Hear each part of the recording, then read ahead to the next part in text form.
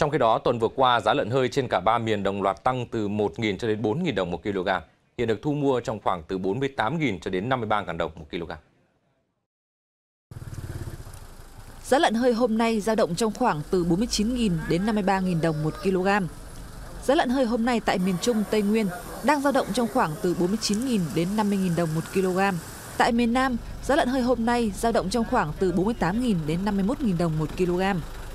Ông Nguyễn Văn Trọng, nguyên Phó Cục trưởng Cục chăn nuôi, Bộ Nông nghiệp và Phát triển Nông thôn cho biết, với mức giá 50.000 đồng một kg trở lên, các trang trại chăn nuôi lớn bắt đầu có lãi, nhưng các hộ gia đình nhỏ vẫn lỗ, không kích thích được người chăn nuôi tái đàn. Còn theo ông Nguyễn Văn Thành, Chủ tịch Hiệp hội chăn nuôi miền Bắc, miền Trung, giá lợn hơi dịp Tết có tăng đột biến hay không rất khó dự đoán. Bởi hiện nay, nguồn cung đang nhiều do ba công ty lớn đều tăng đàn. Nguồn cung đang lớn, nhưng nếu dịch bệnh phức tạp, lợn bị tiêu hủy nhiều sẽ khiến nguồn cung thiếu, đẩy giá lợn hơi tăng cao và ngược lại.